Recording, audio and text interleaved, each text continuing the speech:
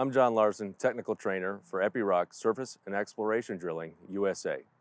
Today we're going to be talking about how to start the PowerROC T35 model. This is assuming we've already done our pre-shift inspection.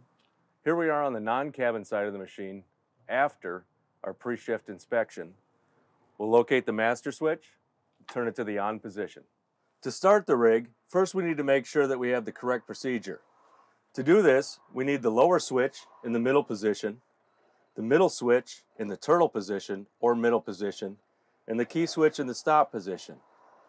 To start the machine, we'll turn the key switch to the on position, and we'll wait for the Murphy gauge to light up and let us know that we're ready, noting that there are no fault codes in the Murphy gauge.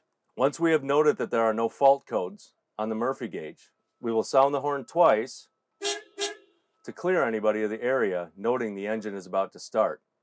Then we take the key switch and turn it all the way to the right until the engine starts.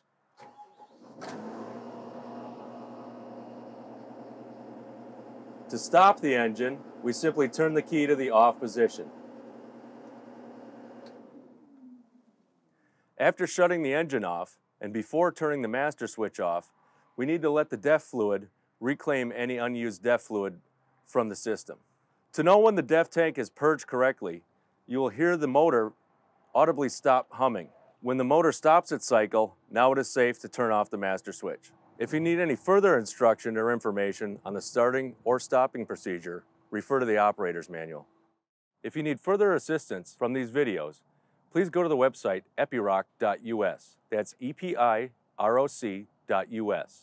Or make note of our toll-free 1-844-437-4262. Or contact your local service center that's by Epiroc or your dealer.